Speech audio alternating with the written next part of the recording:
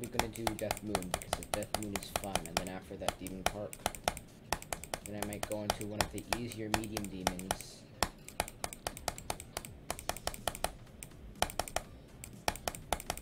My goal is to have um, at least one extreme demon completed by the end of 2020.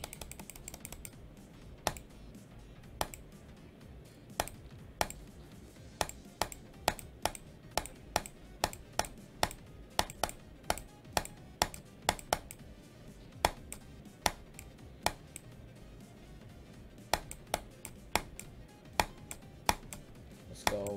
The rest of the demon is pretty much free after the ship.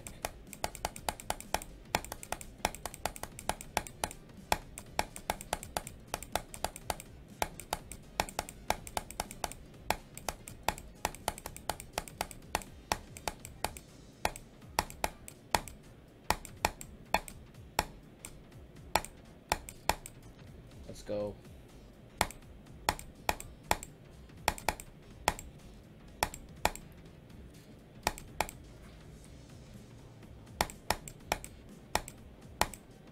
Easy. Third demon, let's go. Got a demon key, very epic. Only 443 attempts, pretty easy.